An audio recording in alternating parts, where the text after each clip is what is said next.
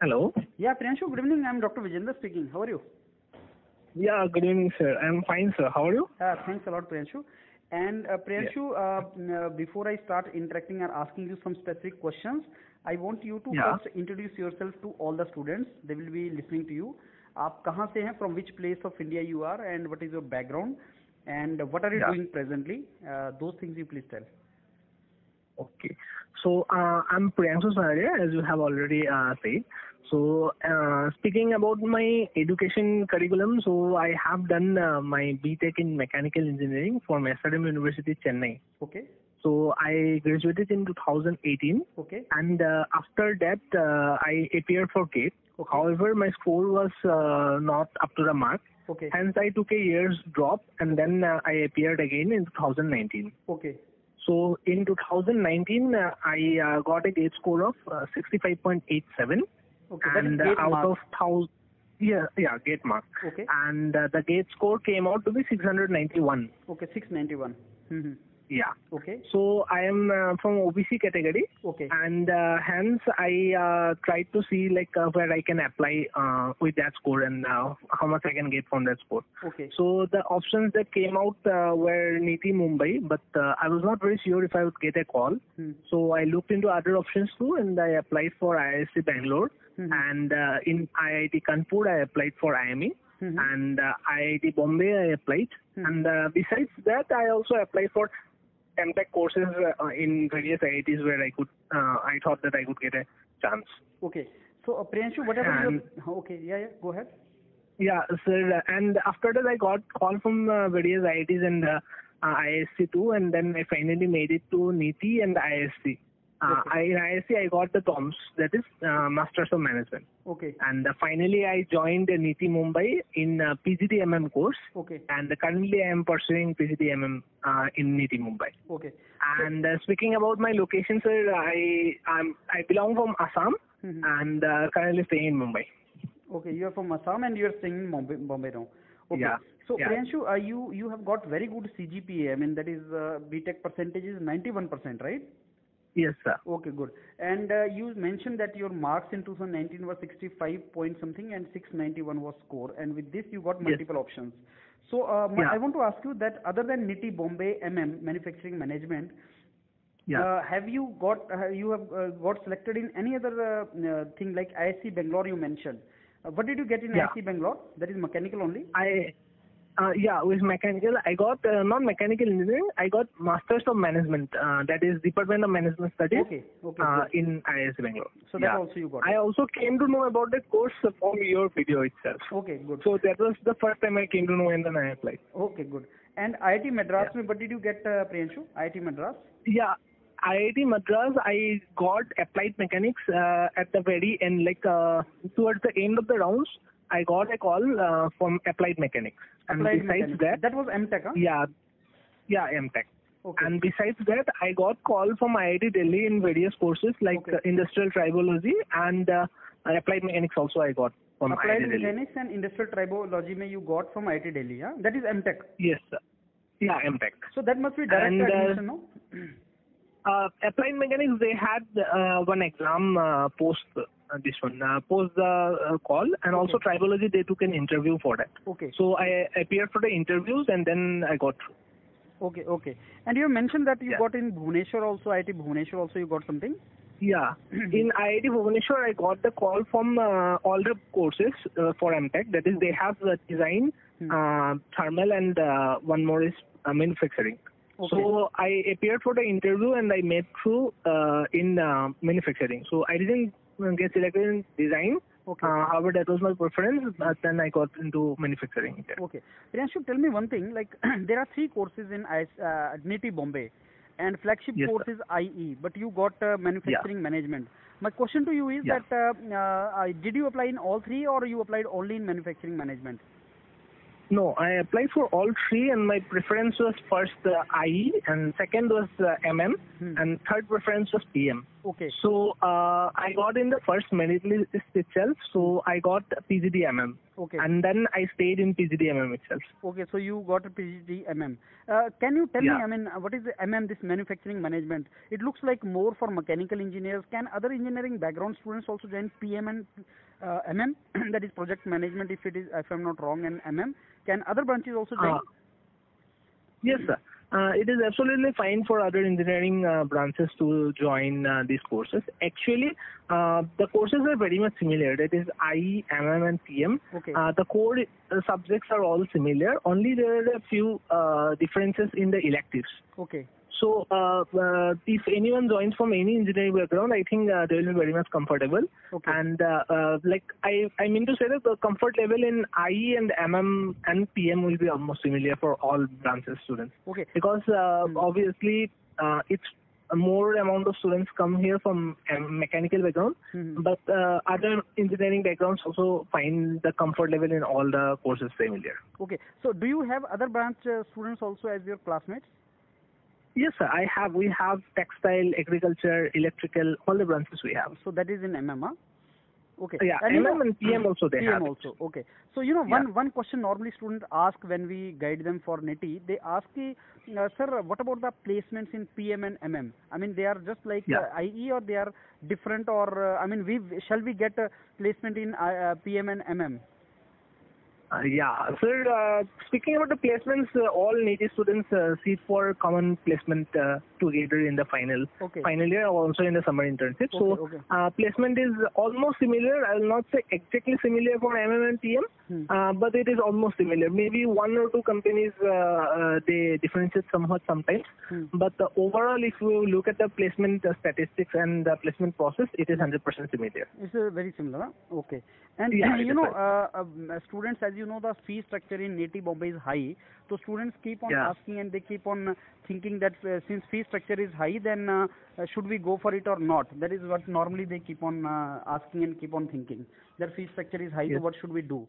So uh, is it Yeah. okay that uh, if with this fee structure they can uh, go for it? I mean, uh, it's good for them because they say that uh, sir fee structure is so high. Should we go for it or not, or should we join MTech in IITs? So what is your answer to such kind of question? Yes, sir. as far as my opinion goes, and as far as I have heard from my uh, friends also who are currently pursuing MTech in IITs, I think uh, NITIE Mumbai is still the best option, even after the increase in fees. Okay. Because if you are not exactly looking for MTech, like if you are not very uh, very much binded that I want to do MTech Hmm. or I want to go in this line, Okay. then I think uh, choosing between IITs and uh, NITIE is pretty clear now that uh, looking from the placement perspective, NITIE gives a much better returns Hmm. Okay. compared to IITs. Return of investment, Yeah. it is called ROI. Yeah, return. Yeah, return on Because many of my students in NITIE, they keep on telling me that, sir, ROI is very high. The return on Yes, investment, sir. I think that is very high, and that is good. And you know what I've observed is that majority of students, Priyanshu, with whomsoever I've interacted uh, in from the NITIE, they Yeah. all are very much satisfied with the course. I mean, that is rarely happens Yes, that uh, every student is so satisfied with the course uh, being run in an NITIE and the kind of academics and kind of opportunities you get there. So that looks like really Yes, good sir. there. Yeah, the academics is really good, and uh, the course structure is also made like uh, it is created in such a way that uh, it suits very well looking at the industry and the requirements of the industry. So absorbing students for industry from NITIE has is also really good. Like you need not to worry at all like uh, if you will be able to move into the industry or how you will perform in the industry Okay. because the courses are very well structured according to that. Hmm. Priyanshu, one more question I want to ask you is uh, related to the uh, admission process actually. So, uh, what Yeah. happens uh, exactly? Suppose you applied in uh, uh, this NITIE Bombay, and then what is going to happen? I mean, once you apply, uh, then uh, they will call you for written exam or interview or GD, or what is the procedure? Yeah. So uh, after you uh, fill the forms, they will uh, exactly give you mails. Uh, so you will get a mail that you have got the call uh, for NITIE Mumbai. So uh, it depends like whichever course you have applied. You can apply in all three, or you can choose any one also. Okay. So uh, besides uh, besides after getting the call, uh, you have to come to the campus uh, for your interview. Okay. So it's a two-step process. First, there will be a group discussion, and then there will be a uh, personal interview. Okay. So uh, both these processes will be completed in around uh, three to four hours, Okay. and uh, after that you can move to your uh, location. So they also provide uh, accommodation uh, to students in the hostel if uh, possible. Sometimes uh, it becomes a bit crowded and it's not possible. Mm. Otherwise, they provide the location, uh, like um location and like staying facilities. Okay. And uh, overall, uh, in GD, if I have to say, then uh, mostly GDs are generic uh, topics, and uh, you can cope it up by uh, just looking in some current affairs and uh, Mhm. newspapers. Mhm. So I think that is uh, very much sufficient. I and uh, also, if I, you I communicate, also heard that there is some kind of list they release your I think some committee of students release some list of GD topics and more or less cop, uh, topics come from there only. Is that true? I mean some uh, topics. yeah, come- yeah. So after you uh, get the call, uh, you will also get a mail uh, from. It's called Team Impact. Okay. So they that's a committee who look after the admission procedure. okay. Okay. So uh, they will uh, send you a basic guideline like how you should uh, like perform in the GD and how you should speak, Hmm. and uh, also uh, they will give a few GD topics to get uh, reference for your reference. Okay. So uh, that also helps a lot if you go through it. Okay. So because I was I was co- uh, completely not aware like how to conduct a GD or how to do in a GD. Hmm. So all the help that I got was from Team Impact's uh, mail. Okay. So I followed the rules and uh, I I uh, had a habit of going through newspapers. So for me, uh, the GD topic was efficiency versus effectiveness. Which one we should follow? okay. So, um, but we we all the students uh, took it in generic terms and they explained. So I think uh, that was uh, very much okay with the. Hmm. So how many something like- students normally sit in GD? Uh, that uh, when you go for GD, how many students sit in GD? Yeah, it will be eight to ten students uh, in his GD group. in one GD group, huh? And Yeah. okay. And uh, you, uh, this uh, uh, when this GD marks is uh, added to final selection, or this is qualifying? Um, I mean, rejection acceptance kind of uh, GD. Oh no, it's not a rejection, uh, but its marks will be added in the final uh, like ranking to get the final ranking. Okay. So uh, uh, it will not be elimination criteria, but uh, after that you will be obviously uh, going for the next PI and total score of all uh, like your academics and your GATE score, your GD score, and uh, finally your uh, PI score will totally uh, like amount to your selection in So NITIE. interview is one stage only. I mean, technical and PI is separate, or one interview only. What do you say?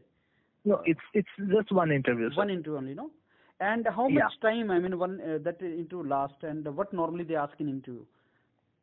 Well, sir, it it varies uh, from student uh, because uh, there will be different panels consisting of different members of faculty and uh, people from uh, recruited people from the industry. Okay. So uh, it depends like uh, which uh, candidate is uh, selected in which amount of time because uh, they need certain amount of time uh, to uh, like actually verify if the candidate is suitable for them or not.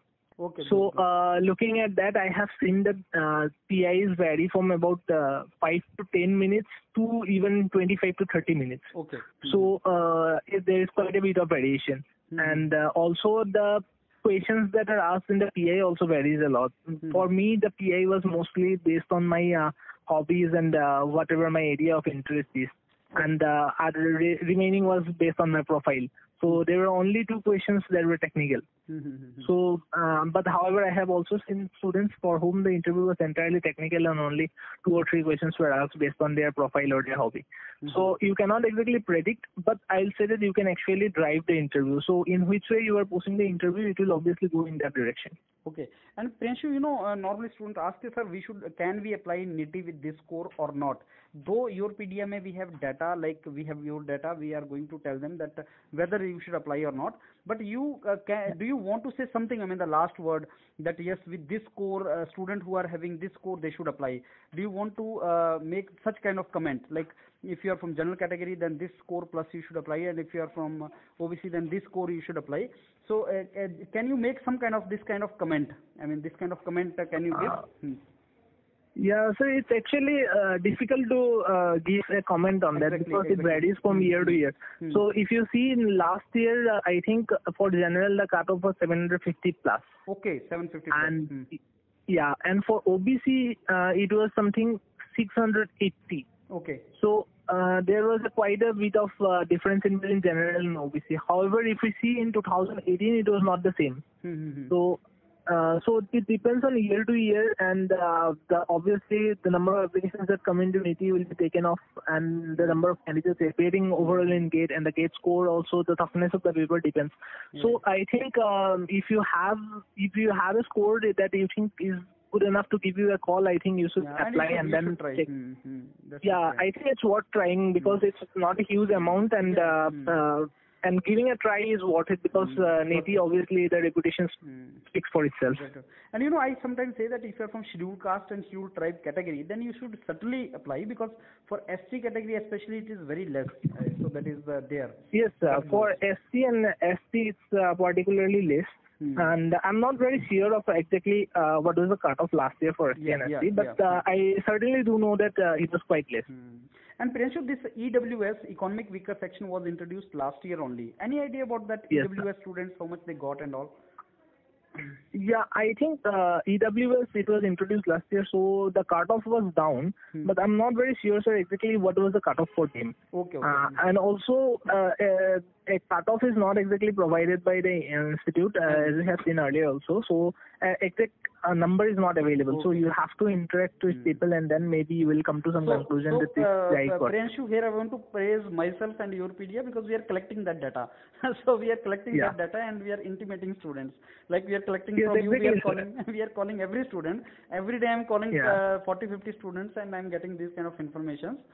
So certainly Yeah. whatever information I have, I will provide it to the students. I think Yes, that is sir. And frankly, frankly speaking, sir, uh, in my time also with 691 score, I was very confused if I should apply or not. Yeah. However, looked into a video and then I saw that uh, there was an increase in the fees, and you said like uh, people below 700 also should take a chance applying because some people thinking the fees is too high may not apply. So I think uh, I listened to your words, and that- that's that is So why I'm I'm, in I'm happy, Priyanshu, that uh, this has worked that way. I'm really happy. Yes, yes, sir. So, Priyanshu, so, uh, uh, you know, uh, before I say thanks to you finally, so anything you want to tell students, aspirant for uh, NITIE Bombay, anything you want to tell? Yeah, I would like to say that uh, yes, your score might not be that high, but uh, in NITIE, if you uh, apply and you get a call, Hmm. your score doesn't really matter. It's uh, how you perform in the GD and the PI Hmm. that will make you through. Even I was demotivated at the point of time, Hmm. uh, but uh, when I got the call, I did my best and I made it through. Even when I was among the last candidates to have got the call. Mm, So, So don't lose your heart. Yeah, don't lose your heart. Just give your best, and you will make it through. Obviously, your hard work, you have done hard work, and it will pay off Mm, mm, either today or tomorrow. Yeah, yeah. So keep working. Hmm. That's what I will say. So